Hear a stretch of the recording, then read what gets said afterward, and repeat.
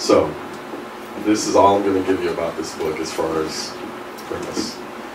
It's about a girl, a young black girl in Baltimore in the near future, because I write about the near future, um, who is trying to figure out what's going on with her life. She likes tats, and someone offers her something better than a tat. Somebody offers her a chance to get wings. And being young and you know, young people, we you know make rash decisions. You know, in our youth, she makes this rash decision to get these wings without really figuring out what that means to have a big ass pair of wings on your back.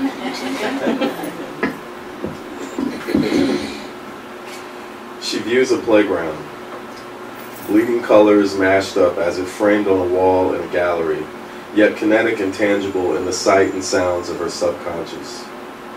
Rendered from her point of view, she is in it, climbing up the smooth, burnished metal, cool in the shade of the big tree which lords over the playscape. She can recall being careful to avoid the streaks of bird droppings that intermittently stain the handrails as she climbs higher and higher. The clouds seem to grow as the summit of the slide grows closer, and Ariel again processes anticipation buried in the dream of a recollection, a hope for a memory within a memory the voice fading as she worked over the years to repress the pain of the experience, the formative moment of a specific type of fear. Despite the lack of clarity, she hears her. Depending on the day, the words are not often distinct, and sometimes the voice sounds like other folks, Mrs. Bell or Aunt Rita in particular. But Ari knows that voice. It's her. Ari, be careful, the voice intones as she struggles to pull her feet from under her to sit down on the slide.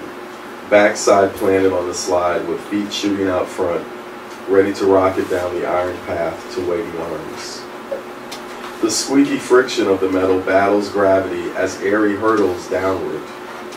She is then enveloped by her mother, and at this moment in the dream, no matter how many times she experiences this journey, the first little paper cut that marks her feelings, a sense of longing and loss that carries forth from memory to dream to now. It is a pain that Ari holds to herself, not to be shared with counselors or psychologists or Rita, not that Rita would even be sympathetic. Ari then feels a sense of weightlessness as her mother lifts her onto the swing, feet dangling above the small trench where other children and adults have dug their feet into the sand to propel themselves skyward. She feels her mother guide her hands to hold onto the chains that hold the swing, and she feels a hand on her back. Ari glides forward, and the sensation of the wind rushing up her legs and through her hair returns. The elation of traveling on the upward path of the swing's ellipse creeps again from her dream into her present state of being. With squinting eyes and a wide smile, a light trail of tears streaks the sides of her face as she moves faster and higher, peals of laughter escaping even as she curls her toes. Ari hears her mother giggle behind her and say, Look how high you are, Ari. The memory of laughter as Ari kicks her legs, the swing twisting a bit. Mommy, I want to come down. A pushing her back. Keep going, Ari, keep going. Ari noticed notices how the clouds rush towards her, then away as she as the swing moves back and forth, and another paper cut is felt as the fear creeps in with each successive push, as the clouds grow in size. Mommy, I am getting off. Now she is letting go, and the last thing she hears is, Look, Ari, you're flying. Ari doesn't remember landing on her hands and knees or hitting her head. It was a small stone sticking out of the sand, she would later learn, that drew the blood that streamed from her forehead. She can't recall her mother screaming for help. The dream evokes the subsequent conversations with Rita. It is when she is older that she understands that the very day in this dream was the last day she spent with her mother. That it was Rita and not her mother who made sure she received proper care. Those facts remain with Ari and constitute an entirely different realm in her mind.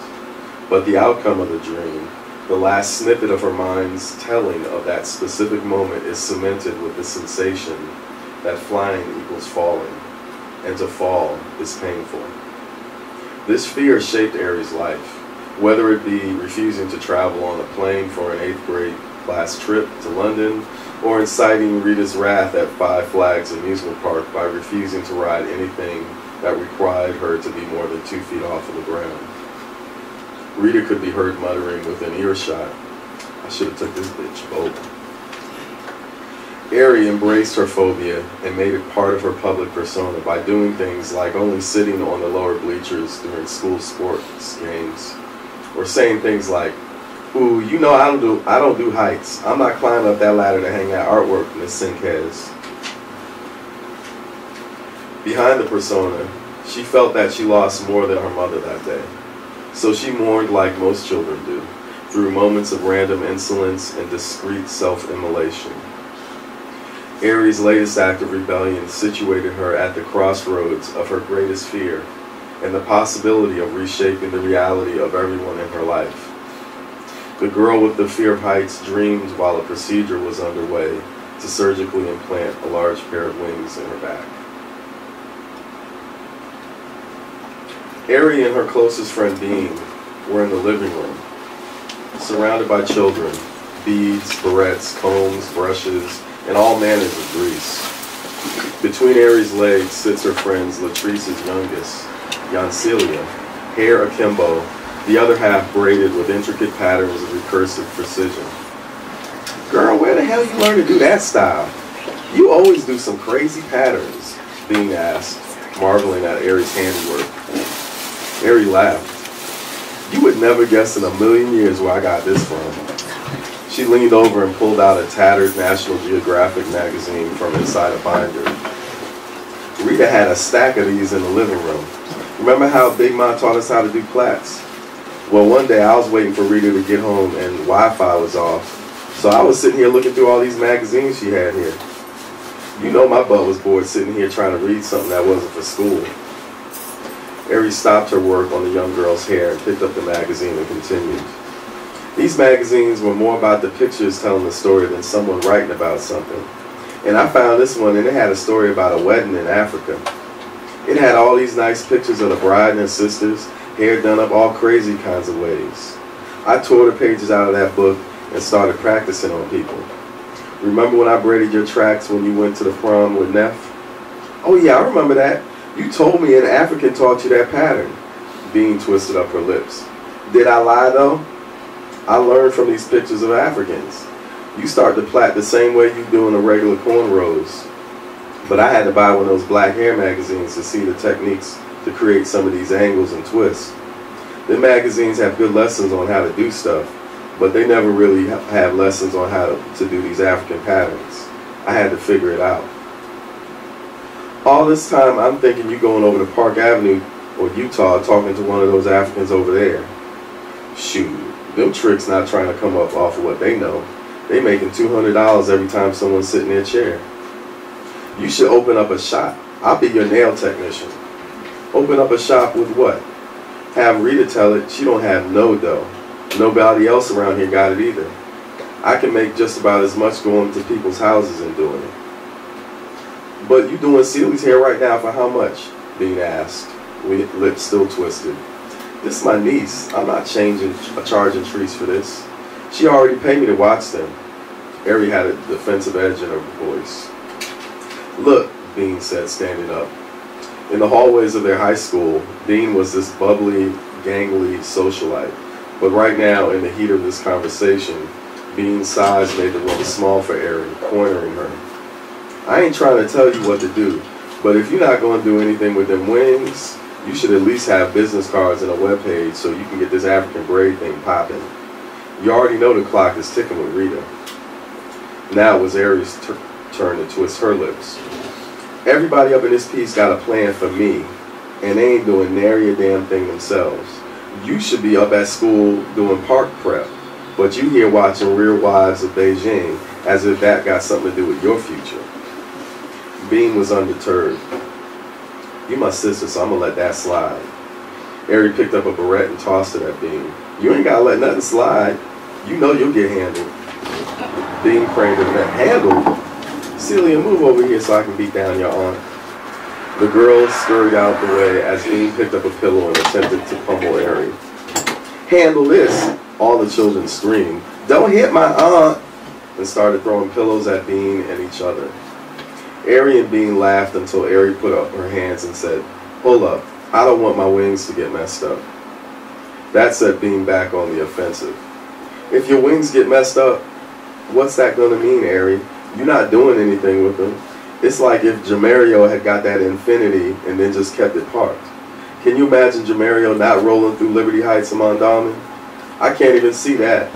And that is just a truck. You got wings. Do you ever look at that book they gave you to see what you're supposed to be doing with them things? Ari sighed and frowned. Truth coming from a loved one shouldn't have to hurt, she thought. There was no denying what Bean was talking about, so she should at least try. In fact, part of her knew she was going to try, but it had to be her decision, not the outcome of some pep talk. I don't want to talk about it. I ain't thinking about flying. Use a lie. How could you not think about it? You can't sleep on your back no more. You can't sit in a regular car. And you trying to tell me you don't want to know what it feels like to be in control of yourself?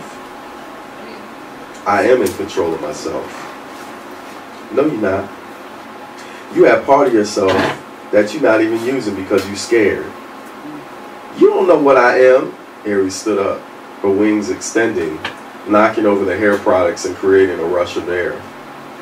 In spite of Ari's small stature, her new appendages, easily stretching beyond the edges of the sofa, gave her a newfound presence that made Bean take a step backward. The size of the wings were compounded by their unpredictable movements. Ari's reluctance to exercise her wings resulted in her having basic motor skill issues. I'm going to do what I need to do to live my life, and these wings ain't got nothing to do with me living good or bad. Ari fumed as the wings intermittently flapped. The children ran for cover, laughing and imitating the motion of the wings with their arms. Bean ceased demurring. I just want to see you fly, Ari. I think that's the best living you or any of us could do. The friends silently picked up the barrettes and grease, and Ari motioned for Celia to come back so she could finish her hair. The wings, after a moment, folded back behind Ari's back.